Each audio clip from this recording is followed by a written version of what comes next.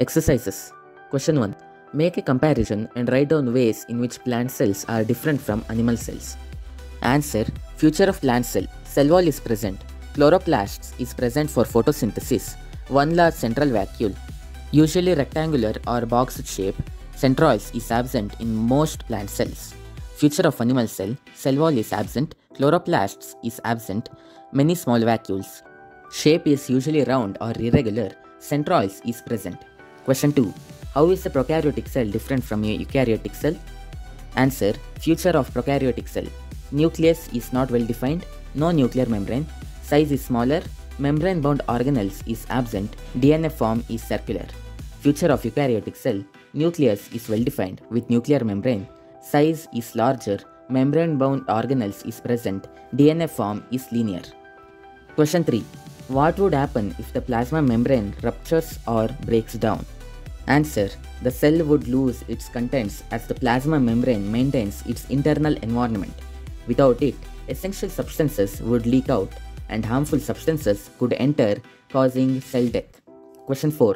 What would happen to the life of a cell if there was no Golgi apparatus? Answer. The Golgi apparatus processes and packages proteins and lipids. Without it, the cell would not be able to secrete or transport these materials properly, disrupting many cellular functions. Question 5. Which organelle is known as the powerhouse of the cell? Why?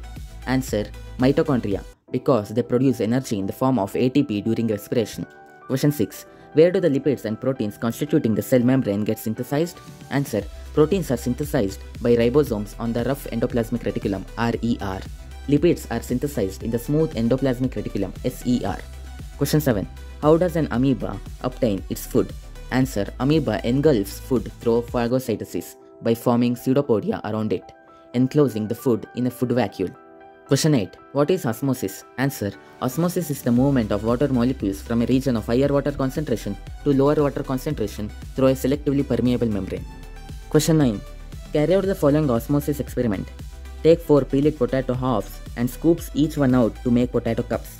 One of these potato cups should be made from a boiled potato. Put each potato cup in a trough containing water. Now, keep cup A empty. Put 1 teaspoon sugar in cup B. Put 1 teaspoon salt in cup C. Put 1 teaspoon sugar in the boiled potato cup D. Keep these for 2 hours. Then observe the 4 potato cups and answer the following. Explain why water gathers in the hollowed portion of B and C. Answer. Water moves into these cups by osmosis since the sugar or salt solution is more concentrated than the surrounding water. Why is potato A necessary for this experiment? Answer. Cup A is a control to compare results and show that no water movement happens without a solute. Explain why water does not gather in the hollowed out portion of A and D. Answer. Boiling kills the cells and denatures proteins, making the membrane non-selectively permeable, thus osmosis cannot occur. Question 10. Which type of cell division is required for growth and repair of body and which type is involved in formation of gametes? Answer. Mitosis is responsible for growth and repair. Meiosis is responsible for the formation of gametes.